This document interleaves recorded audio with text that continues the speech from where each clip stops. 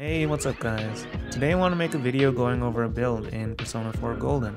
P4G as well as Persona 3 Portable got released on modern platforms recently, so what better time to make a video like this?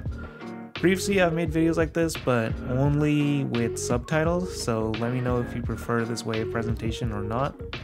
The persona in question for this video is Yoshitsune, if you played some of the recent Persona or SMT games, you know he's generally really good. He comes with the exclusive skill Hassou Tobi, which hits 8 times for light physical damage, and the light phrase here is pretty deceiving because each hit results in a lot of damage, and it totals to do more than any other move in the game.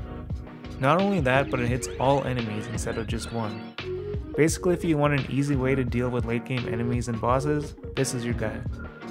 This build also makes Yoshitsune immune to all damage besides Almighty. It's very overkill, but the game allows you to do it, so why not? This video will show a fusion path to get to this end result. I tried to make it as straightforward as I could, but with a build like this, it will involve a decent number of personas. If you don't want to min-max as hard, you could skip a step here or there, as long as you get to the end result and you're satisfied. Before getting to the fusions, I should mention that I made a video previously that included tips for people new to Persona 4 Golden. Uh, it's not voiced, but the information there should be just as relevant now. Also, background music for this vid is by jiai. They make a lot of great music, including Persona remixes, and they recently released a project based on P3 and P4. I'll leave links to their SoundCloud and their Bandcamp in the description, definitely check them out. Lastly, if you end up finding this video useful, feel free to leave a like and consider subscribing as it really helps out the channel.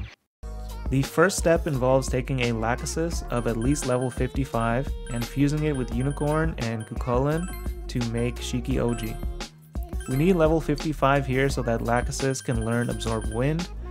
There are a couple ways to level up personas in P4G, the easiest one being getting bonus XP at the point of fusion due to you having a high social link with the corresponding arcana.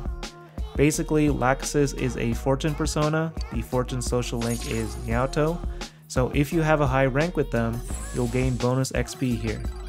Another way is to defeat Golden Hands, the annoying enemies you run into in dungeons. Uh, the easiest way to defeat those guys is to lower their evasion and use almighty attacks. And yet another way is picking an Emperor card during shuffle time, which will instantly level up your equipped persona. The next step is to take Skadi of at least level 59 and fusing it with Sarasvati to make Hitokoto Nushi. Skadi has to be level 59 because we're transferring both Repel Ice and Repel Fire. The second to last fusion here involves Michael of at least level 76 with Hua Po and Atavaka to make Hachiman.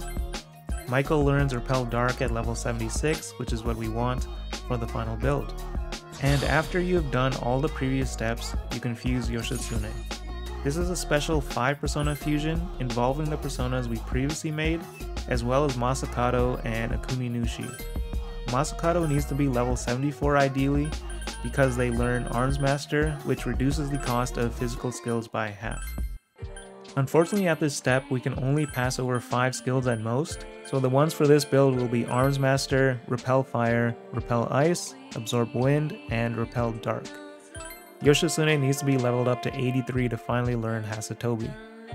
The other two skill slots can be kept as is, keeping Power Charge and Heat Riser, or you can use skill cards to add different ones. Skill cards can be obtained during shuffle time, or manually by spending time at the cafe in Okina City. There are some good options like Insta Heal, Apt Pupil, Ali Dance, and Endurance Soul in case you face a lot of Almighty magic, etc. And that is basically it for the build, I think. I opted for Repel Fire and Repel Ice over Absorb, just because it made the fusion path a lot shorter. And yeah, this can take a little time if you don't have the personas already in your compendium, but I tried to make it as simple as I could. I'll include a fusion calculator in the description if you guys need it all, or if you think there's a better way to get to the end result. Again, P4G is a relatively easy game, so don't stress too much about min-maxing. I will be making at least one more build guide for Trumpeter, who's a really good support persona, so look out for that one. And if this is your first time playing P4, or the hundredth time, I hope you have a lot of fun with the game. Peace.